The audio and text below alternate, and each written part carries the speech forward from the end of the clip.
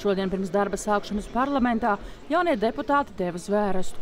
Jaunās vienotības frakcijai pievienojušies trīs deputāti, kuru vidū ir Girts Valdis Kristauskis. Uzņemoties saimnes deputāta amata pienākumus, Latvijas tautas priekšā zvēru. Bijis gan ministrs, gan saimnes deputāts, līdzinājais Ventspils domas opozīcijas deputāts, tagad saimā būs vienā koalīcijā ar Zaļo un Zemnieku savienību. Man ir ļoti liela pieredze par to, kas notiek Ventspilī. Un spriežot pēc debatēm valstī, kas notiek daudz, kur daudziem nav priekšzināšanas, tad es daudz arī apgaismošu gan tos, kas atbalsta, gan tiem, kur jau ir bijuši skeptiski. Viņi daudz ko uzzinās par to, kas nenotiek Ventspēlī. No opozīcijas pašvaldībā Rīgas domē tagad valdības koalīcijā saimā strādās Mairita Lūse. Būt uzticīga Latvijai, stiprināt tās suverenitāti. Viņa ar partiju progresīvie šovasar lēma nepievienoties jaunās vienotības veidotajai Rīgas domas koalīcijai.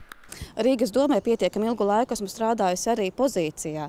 Līdz ar to man atrašanās pozīcija ir ērtāka nekā atrašanās opozīcijā. Es nāku no NVO pasaules. Es sāku kā cilvēks, kas vienkārši gāja uz veikalu ar savu maisiņu, pirkt augļus un dārziņus, lai mazinātu atkritumu apjomu. No tā esmu nonākusi līdz saimai. Skaidri apzinos, ka darba priekšā ir daudz. Man ir ļoti skaidra darba joma, atkritumu samazināšana. Ar četriem jauniem deputātiem šodien tika papildināta Zaļo un Zemnieku savienības frakcija.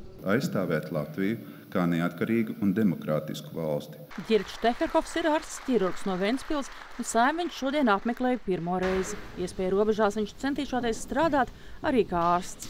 Jūs saprotat, ķirurģija tā ir tāda lieta, ka, ka, ka, ka tā ir rokās un galvā kopā, un ja tur, teiksim, ilgāk laika nepraktizē, tad var zaudēt savus iemaņas. Jā, nu, protams, mēģināšu kaut ko savienot, bet nu, iespēja robežās. Pirmajā vietā, protams, būs darbs saimē. Ministriem, kurus laiku nolikuši mandātus atstājot amatu, ir iespēja atgriezties saimā. Tad pilnvaras zaudēs tie, kuri pienākumus pild uz laiku. Madara Līcīte, Kaspars Markus, Latvijas televīzija.